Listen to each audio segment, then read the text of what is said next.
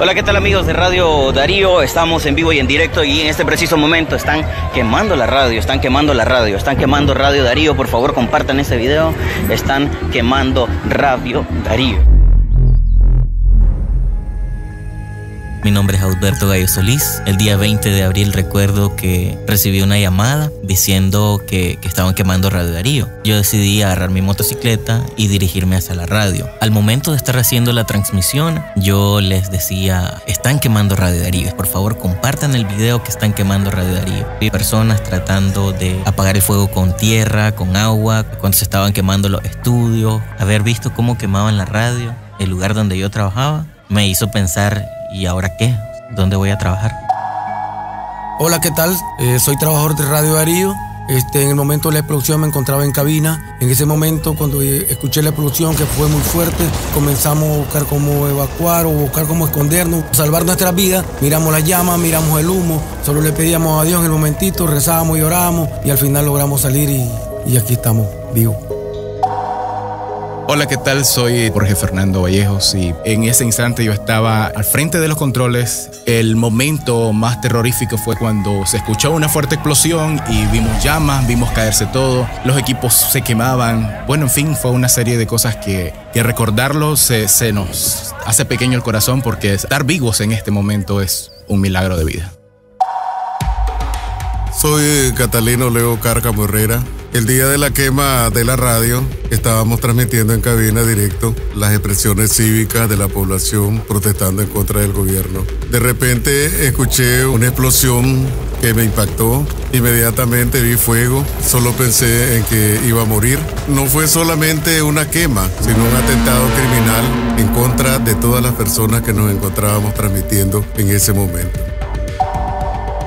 ¿Qué tal? Soy Francisco Torres Tapia. Jamás imaginé haber vivido algo como esto. En ese momento me encontraba revisando las redes sociales sobre lo que acontecía respecto a las protestas, en este caso en la ciudad de León. Escuchar aquella explosión y ver cómo las llamas avanzaban hacia el lugar en donde nos encontrábamos, intenté en ese momento hacer una transmisión en vivo para que las personas vieran lo que ocurría, pero el nervio se apoderó de mí entré en un momento de desesperación y la verdad es que haber salido de ahí y escapar de la muerte es una segunda oportunidad de vida. Hace seis meses, un día como hoy, Radio Darío fue incendiada y destruida por sexta ocasión en sus 69 años de lucha. 12 periodistas, incluyendo mi hijo Aníbal y mi sobrino Víctor Javier, estuvieron a punto de morir 15 galones de combustible habían provocado una explosión que se escuchó a 8 kilómetros de distancia. 80 libras de pólvora en forma de morteros no fueron explotados de lo que habría sido el bombazo final para que de la radio solo hubieran quedado los cimientos. Nunca había sentido el frío de la muerte hasta esa noche terrible donde el fuego y los pedazos de techo caían sobre nosotros. Todo ardía en llamas, había confusión. El calor del fuego era como el aviso de un terrible final de nuestras vidas, producto del ataque cobarde de quienes cumpliendo la orden superior decidieron atacarnos en el intento de acallar las voces del faro de la libertad de Radio Darío. El ataque provocó quemaduras de segundo y tercer grado a Raúl, el guarda que fue movilizado a punta de fusil por los asesinos. Dos personas de los paramilitares pierden la vida.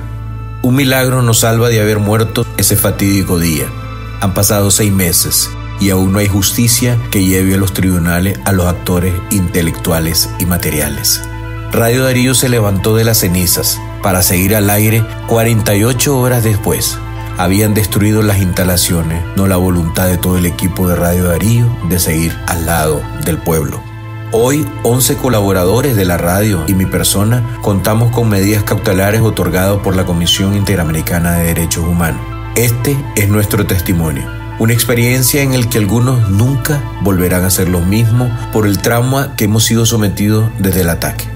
La radio sigue siendo un faro de lucha por la libertad de expresión, aunque continúa el asedio, amenazas y ataques. Hoy les quiero expresar que nos sentimos en peligro aún con las medidas otorgadas por la Comisión, y tengo que concluir que ejercer nuestra profesión en nuestro país es tratado como un crimen por el régimen. A nuestra audiencia, a los jóvenes, a los estudiantes, a las madres de los que ya no están, a los presos políticos, a los campesinos, Nicaragua está de frente a un gran desafío, pero creo que estamos haciendo historia. Estamos construyendo la nueva Nicaragua.